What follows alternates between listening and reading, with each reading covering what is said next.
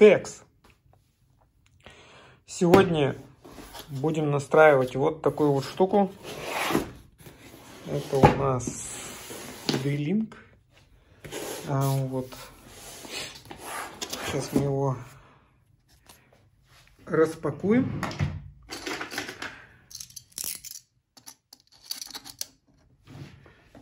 Чик. Опля. Ага. Так, надеюсь, больше он нигде не запакован.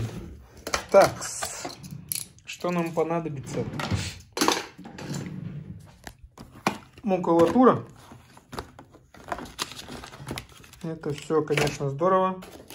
Уши. Ну, в нашей, компли... в нашей конфигурации уши навряд ли понадобится. И просто надо будет куда-то бросить, так как мы его нестойчно будем устанавливаться элемент, чтобы закрепить, ну, стяжка, чтобы закрепить кабель, чтобы не вываливался. Что же, кстати, не совсем использую. Э, мягкие демпферы, вот их, скорее всего, используем. И комплект болтов. Тут у нас питание. О, тут еще и консольник, притом полноценный консольник.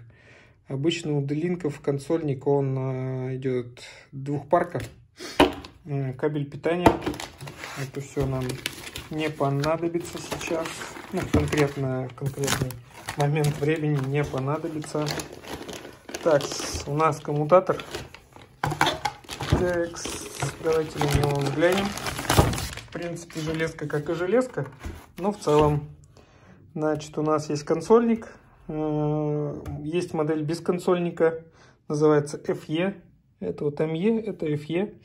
А вот, мне удобнее работать через консоль, но в принципе у меня будет задействовано 14 портов и два будут последних, ну, медных порта свободны. Можно и настраивать через медные порты. И 4 оптических. В моей конфигурации мне как раз таки такой коммутатор подходит. Это вместо того огромного 121052 ME. Так, что у нас сзади? Сзади у нас можно подключить ИБПшник, ну, источник бесперебойного питания внешний. Вот.